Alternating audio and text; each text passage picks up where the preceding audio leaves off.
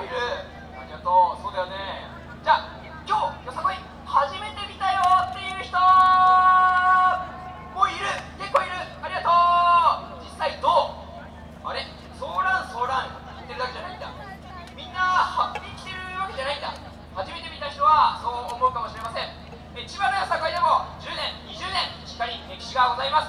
ただまだまだ一般の方にとっては認知がございません。千葉とよさこいにはさこいでございます。よさこいとは祭りとは我々演者だけではなく皆さん運営の皆さんと観客の皆さん一体となって盛り上げていくものでございます。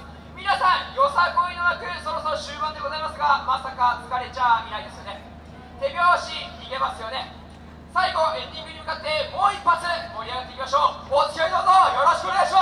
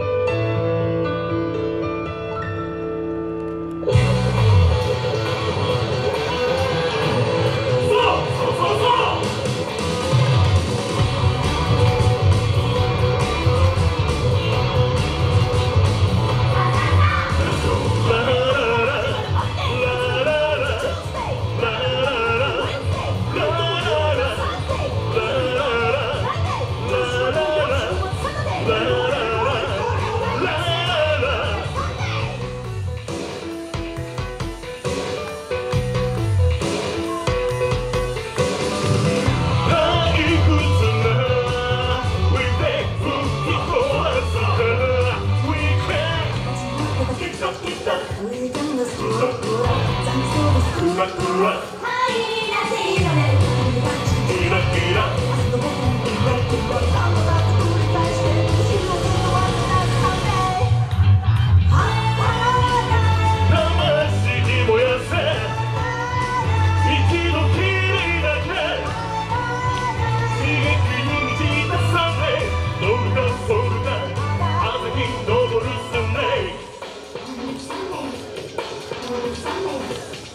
ろ